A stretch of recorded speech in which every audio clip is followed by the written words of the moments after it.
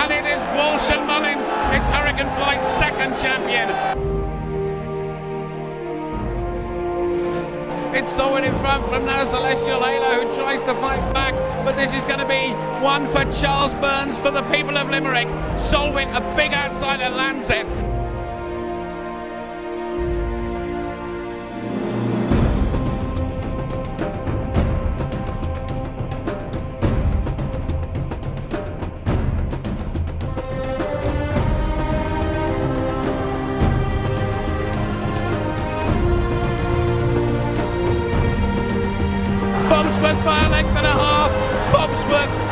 Nicky Henderson and Barry Geraghty win the Gold Cup.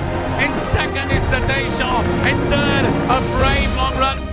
Bobs Worth, he's just, he's amazing. He's the sort of invisible horse. You never see him in a race until, as Nicky Henderson would say, suddenly there's Bob. And uh, I thought Barry Geraghty was excellent on him. He, between six out and five out, Barry confessed he thought he was beat. But he just let the horse, he let the race come to the horse rather than throw the horse at the race. And you know he sticks on, you know he battles. Uh, he's never been beaten once he's gone and hit the front.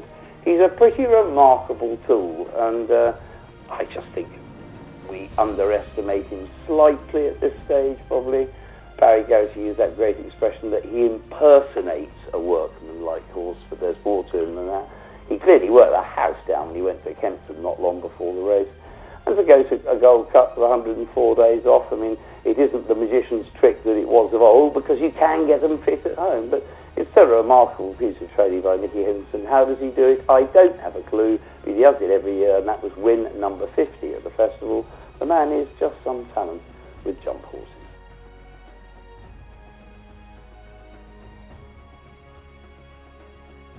Well, nothing could top Sprinter Sacre in the champion chase, but Simonsig, his stablemate in the Racing Post Arkle Trophy, wasn't bad either.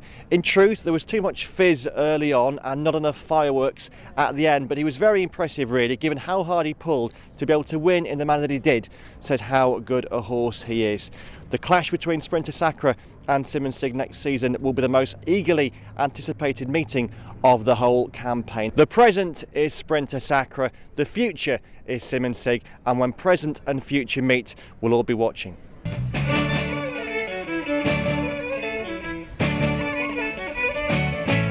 Been coming here for many, many years, and I've seldom seen anything like Sprinter Sacre in the Queen Mother.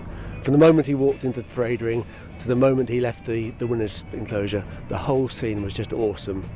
Strictly from a, a form point of view, it was just magnificent. We know how good sprinting, uh, how good sizing Europe is. He's a hell of a horse, and he's been coming here year in, year out, putting up magnificent performance after, after magnificent performance himself. And for Sprinter Sacre to beat him 19 lengths on the bridle, I mean, who knows how far it could have been? Could he could have beaten in maybe 30, even 40 lengths. It was extraordinary. Uh, for me, the highlight of the entire festival was Hurricane Fly winning the champion hurdle. Everybody doubted him going into the race, and I think halfway through the race, I think people were still doubting him, and the doubters were thinking that they were going to be singing. But he really came back on the bridle, and I think turning for home to see Ruby travelling so well and proving that he is the superstar hurdler he was was something really special. You know, he beat some really good horses last year's winner, Rock on Ruby, Zarkandar was there, Countrywide Flame, and he really beat them very, very easily, and it showed what a champion he is. And for me, that was the highlight of the entire festival.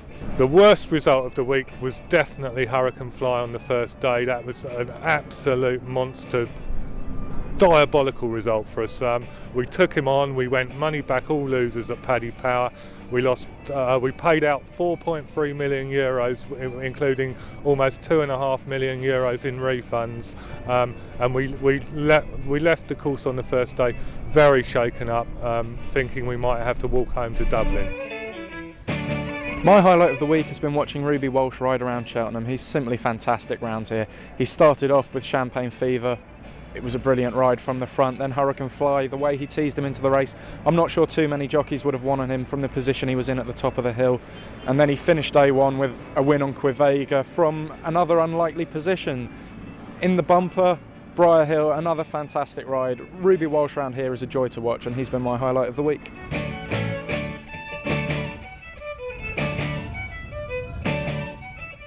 Well, the undoubted low light for me was Hurricane Fly winning the champion hurdle on Tuesday, which means I've got to lose my sideburns. I think they're going to get shaved off on RPTV sometime soon. So that wasn't too good. But on the Wednesday, bounce back, the new one, fantastic result. Was lucky enough to have a drink with the owners before the race. They're lovely, lovely people. Wished with the new one well, and then he went and won the race and won it really, really well. I think he's a champion hurdle horse for next year. He showed such pace to get up the hill with Sam Twiston Davies. It's a fantastic result. Went down to the hollow bottom after racing for a few drinks with the owners. It was absolutely fantastic. They were loving it. Even the sprained ankle from the lady who owns it, running up the chute to get her horse, she fell over, sprained her ankle, was in a cast by the time she got to the hollow bottom, but she didn't care. She was high on the win. She loved it. The new one. Highlight of the festival.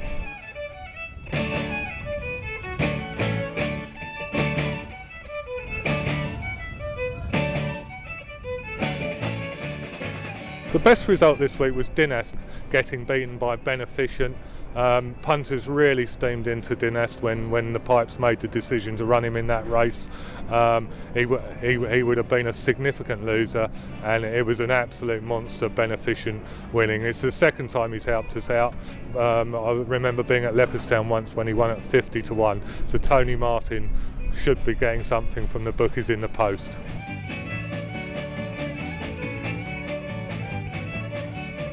Highlight for me was um, the Kildare based trainer Peter Maher having uh, the winner of the cross country in uh, Big Shu, uh, Barry Cash, wasting away to get down to 10 stone 4 for the ride.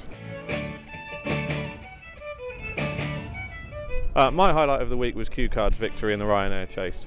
Uh, that Ryanair chase has been a nightmare for me in the past. I've suffered really heartbreaking defeats with Voy Por Ustedes and also Medermit as well.